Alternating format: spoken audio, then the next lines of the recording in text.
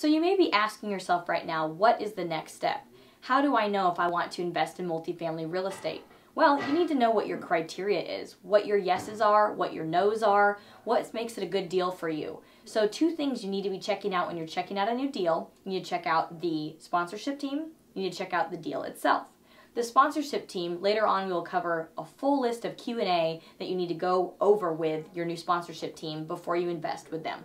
Number two, very briefly, checking out the deal itself, you want to see what's up with the market. So the four or five things that we cover when you're checking out the market. Number one, you want to see population growth. Number two, you want to see crime decrease. Number three, you want to see income growth. Number four, you want to see home value increase. And then also you want to see job growth increase. Those are the five things you need to be checking out on all of your multifamily deals before considering investing.